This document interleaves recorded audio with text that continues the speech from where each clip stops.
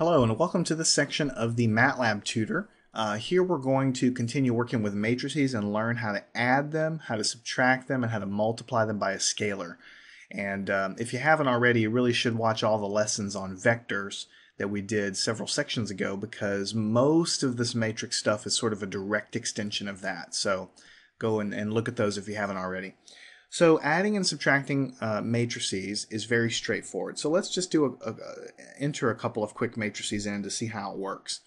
Uh, we'll create um, matrix 1 equals open bracket.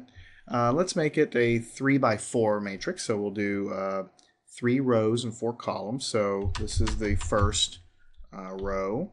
This is the second row uh, what did I say, three rows and four columns. So we'll do, you know, uh, negative 4, 0, negative 1, negative 2. So that'll be our our third uh, third row. So there's the first row, there's the second row, there's the third row.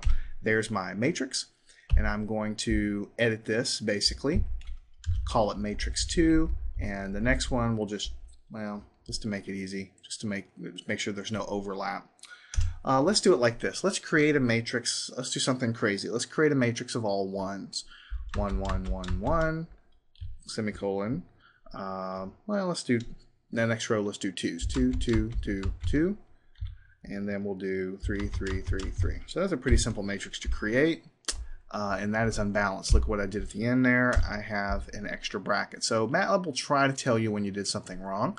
And so there's my matrix 2. So here I have let me clear it out. Matrix 1, matrix 2.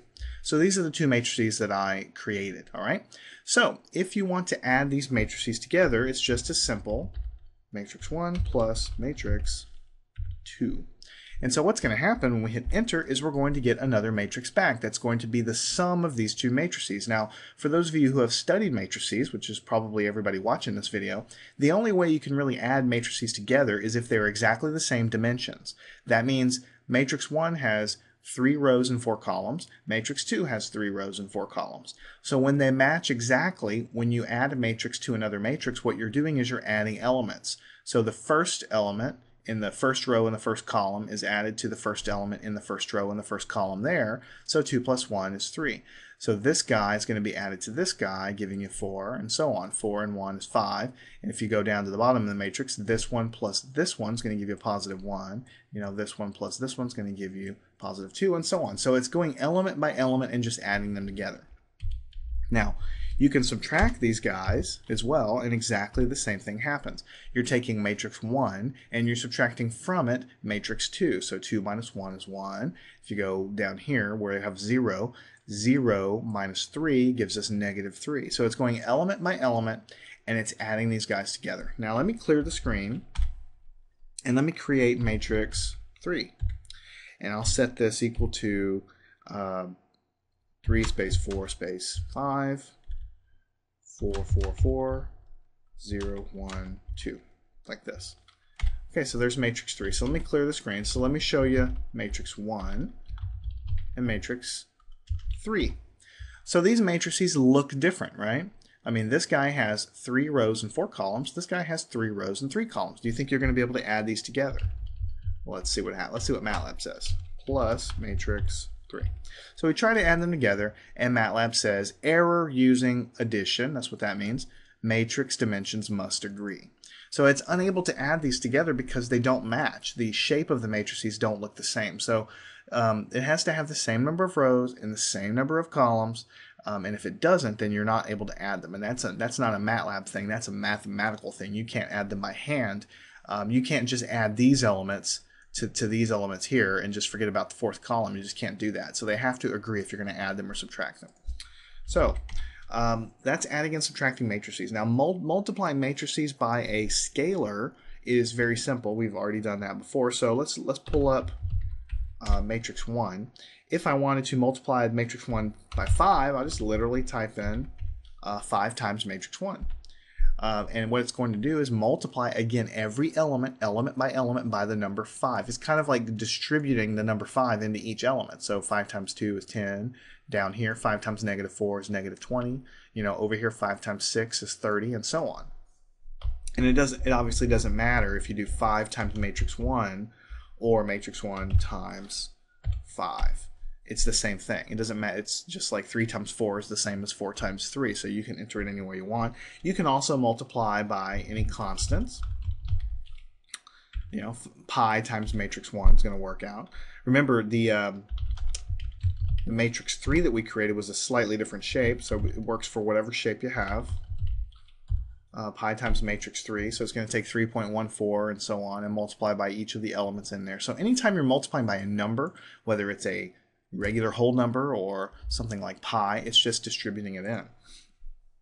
Now the same thing holds true of um, imaginary numbers. If I want to take i times matrix 2, it's going to multiply the imaginary number i times every element in matrix 2.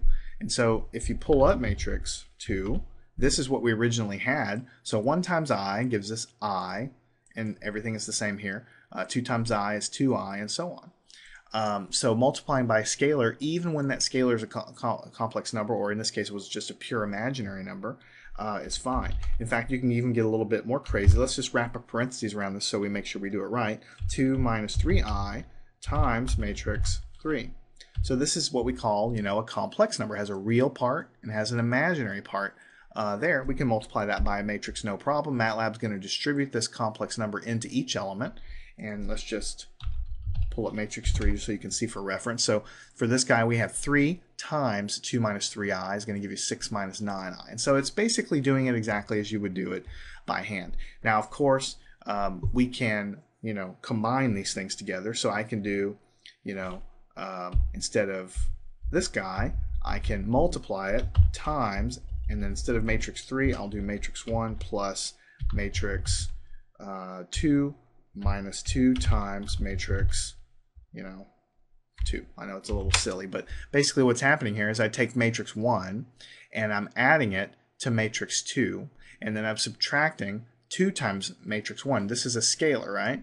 So what's going to end up happening is the 2 times the matrix is going to happen, uh, and, and, and, we've already done that sort of separately. So we're going to get a new matrix there, and then I'm going to do this addition and subtraction kind of in sequence, just like order of operations. This is going to give me a matrix on the inside, and then I'm going to multiply by everything on the outside there, and so MATLAB handles that just fine. Of course, all the answers are complex because I see it here. And for some reason, if this is hard for you to read, if these complex numbers are difficult for you to read, you can just go over here the last answer is what was just calculated. That's always stored here as the last answer. You can double click it and then you can go over here and read everything if you need to space things out. Maybe you have a giant matrix, maybe it's 50 elements long or something like that. So I hope you've enjoyed this section. Make sure you understand how to uh, add and subtract matrices. The main thing is they have to be the same size. If they're not the same size, the same dimensions, it's not going to work. You can multiply matrices by scalar numbers, complex numbers, you know, pure imaginary numbers, irrational numbers like pi, and it's all just fine. Uh, here in the next couple sections, we'll learn about how to multiply matrices times other matrices, which is an important topic all by itself.